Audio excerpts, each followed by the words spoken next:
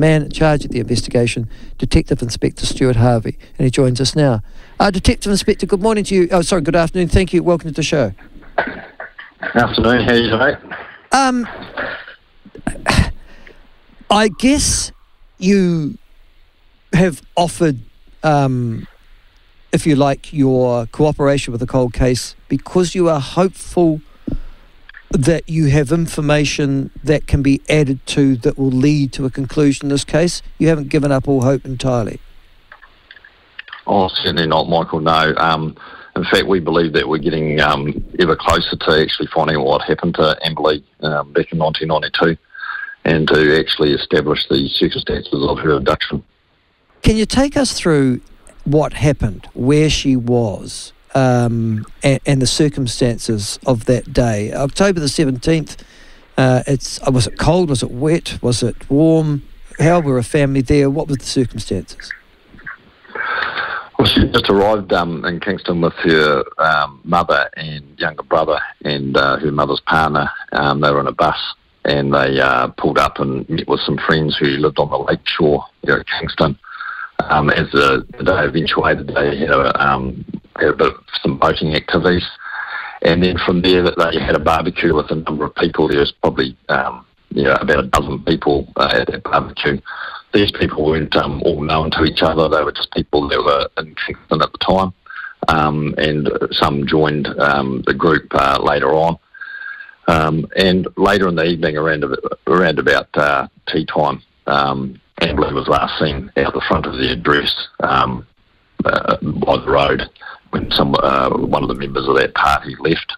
Um, and then when that member of the party returned, uh, she wasn't there. Um, it took probably 30 to 40 minutes before people realised that she'd gone missing. And from there, quite an extensive search uh, was undertaken that night and then over, over the rest of that weekend. Um, and unfortunately, she hasn't been seen since. Um, I guess in any investigation that involves this, the first suspects are always the family. So I guess local police of that time would have scrutinised the family's activities pretty extensively. Oh, for sure, yeah. And the people that were there that, uh, with Amber-Lee at that time, they were they were the um, people of interest um, who we were really interested in um, knowing what their activities were, what their movements were. But um, as time progressed, it became clear that um, certainly um, uh, Amber-Lee's mother and her partner and the two people that lived at the address they were at weren't um, uh, weren't involved in her disappearance uh, in any way, shape, or form. And I guess you deduced that by talking to everybody, working out where everybody was at a certain part in time. Yes? Yeah, yeah, we formed a really good timeline um, in regards to those people. Uh, and there were a number of other people that were there that evening, and the, the progress is being made is being made on working out uh, which of those people um, may have been responsible for her disappearance. So you're quite clear that it was somebody at that particular function or surrounds, no, at, and known by the others who was responsible for the abduction of that child? What we, we certainly believe is that uh, the person who abducted Amber-Lee uh, was living in Kingston at the time. They weren't, uh, it's highly unlikely that they were somebody that was just passing through the township and um, abducted her. Uh, we have effectively eliminated our um, accidental death. Uh, we don't believe that she's in the lake or was ever in the lake.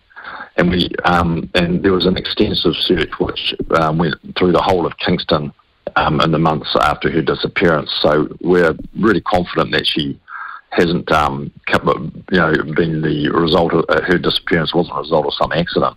We believe that she had been abducted, and it's from somebody that was in Kingston on that day. Um, the obvious question is she alive? We don't believe she is.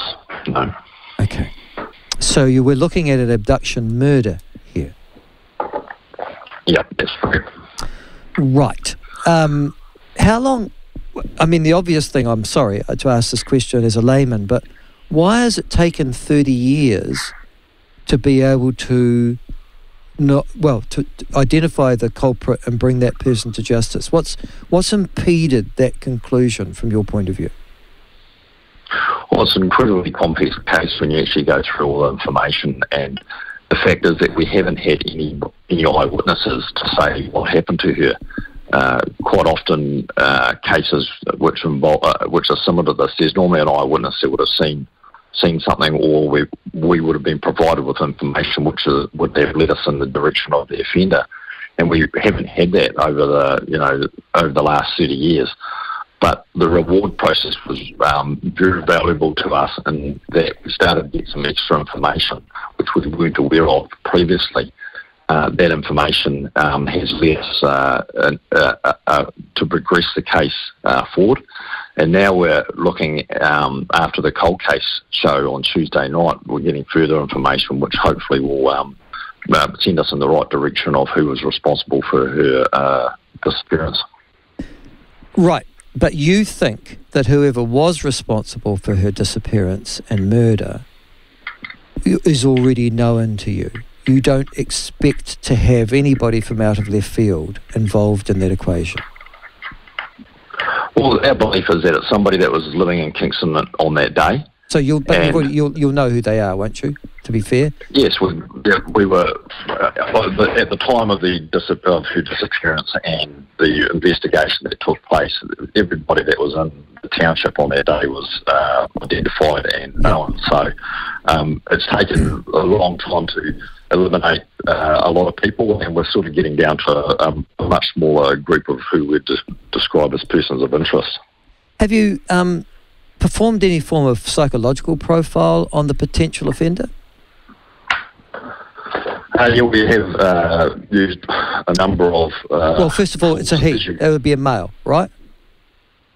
Well, that would be that would be the assumption, but that, uh, um, at the end of the day, we have to keep an open mind on those that group of persons, those, those people of interest. Yeah. So we have to keep a bit of a um, an open mind on that. But the, the um, efforts that we've made have involved uh, profiling and have involved, um, uh, you know, obtaining expert opinions on on who may uh, be responsible for this type of offending. Right, and I'm taking it won't be a family man with five kids and a respectable job at the local Presbyterian church. Well, as I say, you've got to keep an open mind, and um, nothing's uh, beyond the realms of possibility. It, it, would be unlikely because that person would um, have been accounted for if they were in the area at the time, and they would have people that would um, be able to alibi them. Yeah, yeah, yeah. So, so, but, I mean, so we're most likely talking about a single individual or somebody who was uh, singular in their lifestyle. Uh, possibly, but uh, it could also be somebody that um, uh, uh, has involved somebody else in the uh, offending as well. Right, and, um, that, and we have to yeah. keep an open mind. We have to keep a very open mind of what may have possibly happened to Amber-Lee.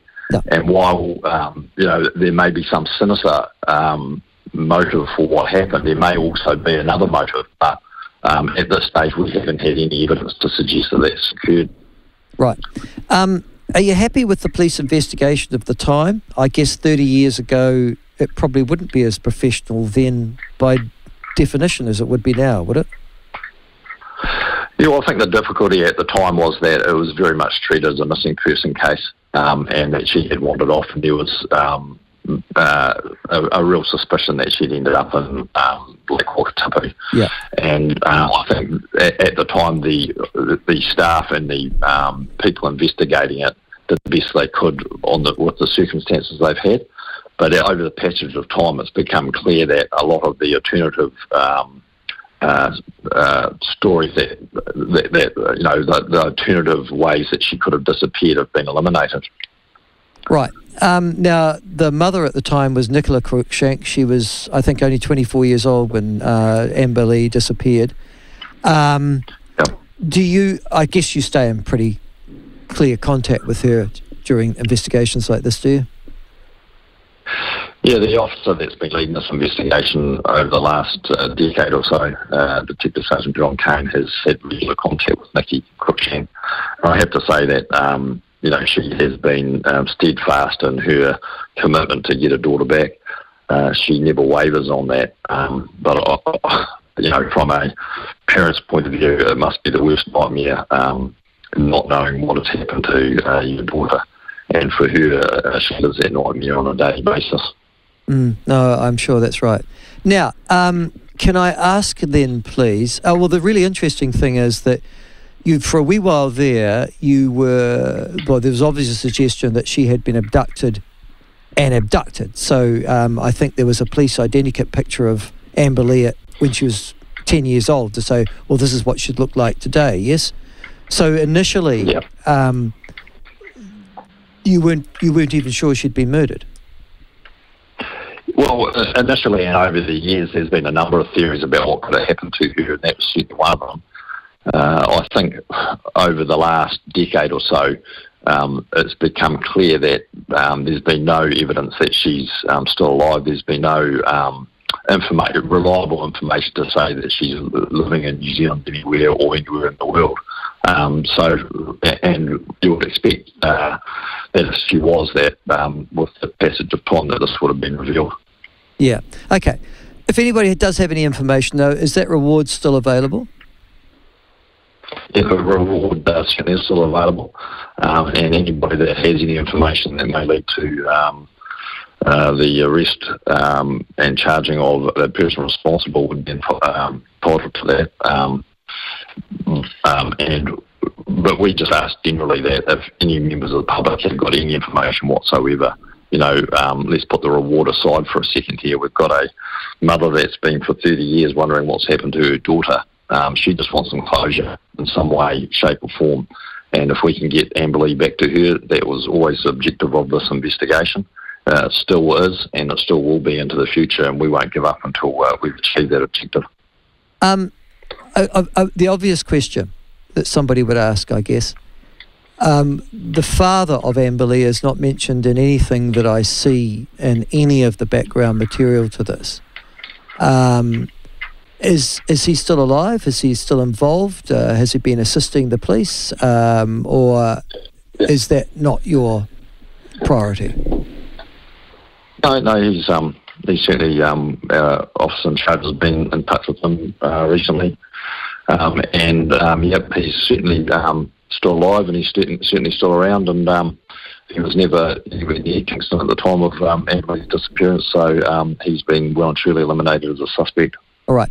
Now, if people do have listening to this have some information, uh, what's the best contact to make with you or your team? Um, if they would like to ring 105 um, and touch base with our communication um, people there, um, they will then pass the appropriate messages on to um, our officers. Our officers will get back to people that do ring. Uh, we've had over uh, 20 plus calls already um, since uh, Tuesday. Um, and we will, we will endeavour to get back to everybody that calls us within the next few days. All right. Okay. Uh, thank you very much for joining us, uh, and I wish you the very best of luck in this matter. Uh, I guess it must surprise you that Madeleine um, McCann's got more coverage in New Zealand than this little girl. Yeah, well, I think um, because there's been so many theories um, in regards to Amber Lee that um, it's only really now, once we put it all together, that we can say with some certainty that um, you know she's Yeah. she's been abducted and and killed. And I think um, maybe people will start understanding that a bit better now. Thank you so much for joining us, and the very best of luck to you. Um, that is Detective Inspector Uh, Stuart Harvey.